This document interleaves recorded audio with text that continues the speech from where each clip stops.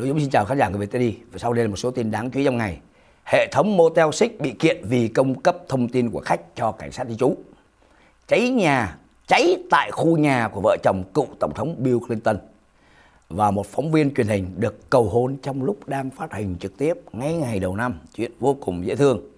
Đầu tiên là thưa quý vị, chuyện tại tiểu bang Washington. Ngày hôm qua, ông Bob Ferguson, Bộ trưởng tiểu bang này, Bộ trưởng Tư pháp tiểu bang này đã có một cuộc họp báo và cho biết đã kiện Motel Six ở tiểu bang Washington.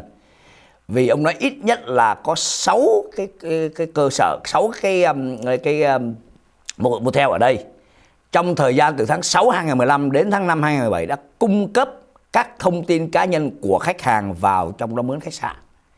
Ít nhất là 9.151 người đã được bị lấy thông tin cấp cho đưa cho cảnh sát di trú tức là ai họ lấy cái gì? Gồm có số an ninh xã hội rồi à, tên ngày sinh số xe các thông tin khác. À bởi vì nhất là những cái tên nào mà mang máng nghe có vẻ như là Hispanic à, thì họ cung cấp cho cảnh sát di trú. Thì bây giờ họ bị kiện và cái công ty G6 Hospitality là công ty điều hành hệ thống Motel 6 này cho biết là họ đã ra lệnh cho tất cả 1.400 cái motel ngưng không làm chuyện này nữa. À, ông Ferguson bảo là trong khi đó chính sách của công ty này cho rằng chúng tôi luôn bảo vệ thông tin cá nhân của khách hàng mà chúng tôi có được thì bây giờ chính các anh lại đưa cho cảnh sát di trú để đi tìm bắt. Và đã bắt một số người rồi. Đó.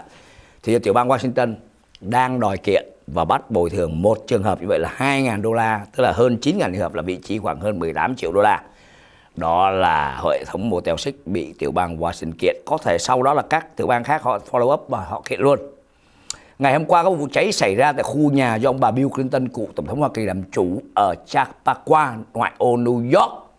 Ngọn lửa xuất phát trên trần nhà tầng 2 của ngôi nhà sở mật vụ ở, ngay sau căn nhà gia đình Clinton ở. Tức là cái nhà đây, đằng sau có cái nhà của mật vụ ở, họ bảo vệ ông thì căn nhà đó nó bị cháy xíu trên trần.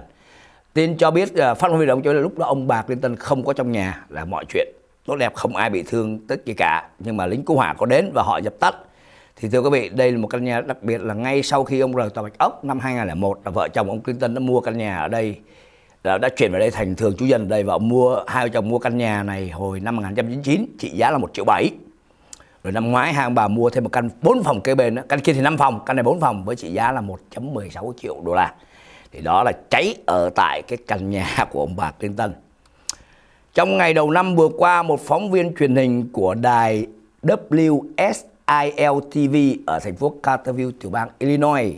Vô cùng ngạc nhiên. Hôm đó cô đang ngồi chuẩn bị đưa tin thì người đồng nghiệp của cô là nói tin thời tiết thì anh Tony để nói à, một cơn gió lạnh đang sửa sắp đến chúng ta từ một góc nào đó. Thì vừa nói xong rồi cô quay qua thấy anh bạn trai bước vô. À bước vô ngay đang trực tiếp truyền hình luôn. Tặng bó hoa và kêu Happy New Year. Đó, cô này mừng quá bởi vì cái anh này mới nói Elvin cô này tên là Evie Ellen. Elvi, em có biết là anh yêu em không? Và hôm nay anh muốn yêu cầu một chuyện, hỏi chuyện gì? Will you marry me? Em có cưới không? Trời ơi ta quỳ xuống là móc nhẫn nó đưa. Ôi trời ơi, gắn vào tay. Cô này speechless luôn, không nói được gì cả. Và nói, ôm anh này và nói, cuối cùng nói, chắc chắn là anh biết là em sẽ yêu anh mà. Thế là sau đó ông này bước ra và chương trình tiếp tục. Cô này giơ cái nhẫn này trước cái màn hình cho bà con coi nó khoe cái nhẫn. Ông bạn Tony tiếp tục truyền hình. Và ông nói như thế này, hy vọng chuyện này làm ấm lòng quý vị một chút đây là một chút ngạc nhiên, chúng tôi có sáng nay câu chuyện rất dễ thương đang làm truyền hình mà được ờ, là bạn ờ, người bạn, cái chồng tương lai mình vô cầu hôn, tặng cái nhẫn, tặng bó hoa tuyệt vời. Đó là những tin đáng chú ý ngày hôm nay. Chúng tôi cảm ơn quý rất nhiều và sẽ hẹn quý vị trong chương trình kỳ tới.